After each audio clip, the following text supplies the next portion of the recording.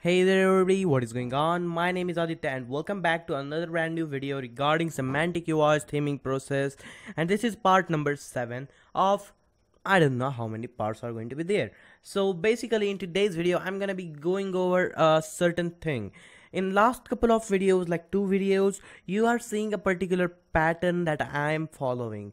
I'm going back to the site variables and i'm going back again to my uh, global site variables and i'm changing only those. I'm tweaking a couple of things over here and there now obviously i cannot keep on like just going through every single section of the site dot variables uh, because there are way many other things like uh, you know there are uh, certain elements which i want to cover all of them.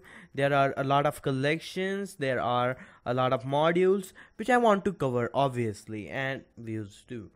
So i cannot just stumble upon just this one thing uh, creating a lot of videos just focusing on site dot variables thing basically.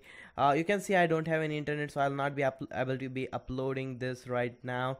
This video might just be a little late even though let's just see what uh, I got for you so basically you can see here there are different types of sections like the base sizes border radius. You can go ahead and try to customize these things. Now don't try to customize it when it is something like this when it is referring to something like this. Uh, just try to customize this variable uh, and make sure that when you find out this variable be sure that this variable is not referring to some other variable. Try to make sure that you are changing a root variable from your code. Now obviously primary color is set to the blue and blue at down there is somewhere um, all the way down right over here. So this blue is set right over here and most probably you are not interested in this blue and you want to change it. Just change the blue color you will be ready to go over there. Or you know some in some cases it might just be required to change the primary color like I had done.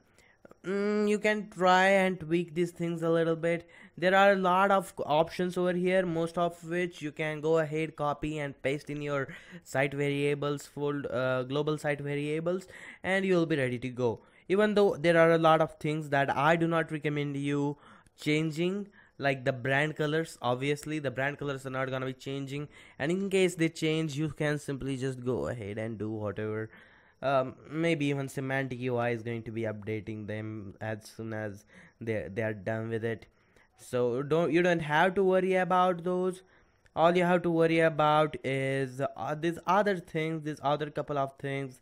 Like you know these hover colors the primary colors that you are going to be using for your application you can see there are a lot of color only the color part is over here inside of the entire site dot variables file. I wanted to wrap this video up with just this and i guess you can go ahead and tweak around this thing. Just play around them.